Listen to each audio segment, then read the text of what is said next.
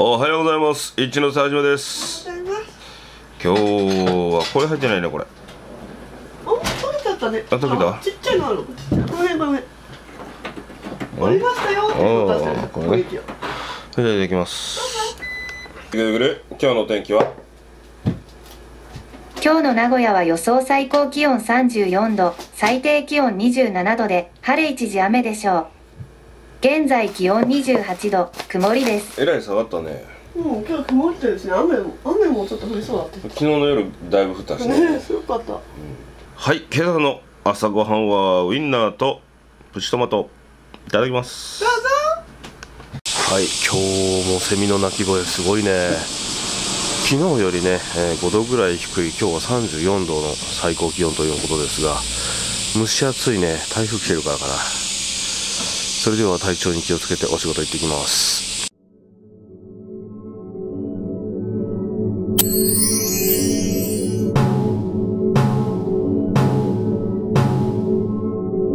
はい午前中のお仕事終わって本日のランチは母ちゃんが作ってくれたじゃんつけ麺。いつものやつね。ね美味しそう。今日なんかいろいろ具が入ってるね。そうそうそう。いつもの。いつものやねチャーシューもちょっと立派だね。どうぞ。でいただきます。どうぞ。はい今日のお仕事終わったけど台風来てるんでめっちゃ雲行き怪しいね。まあこんな天気ですがちょっとね、えー焼肉に家族で行きたいと思います。それでは行ってきます。はい今日もいつものえー焼肉屋円屋さんにやってきました。はい乾杯。はい。よはい、今日のつまみは追いキムチ。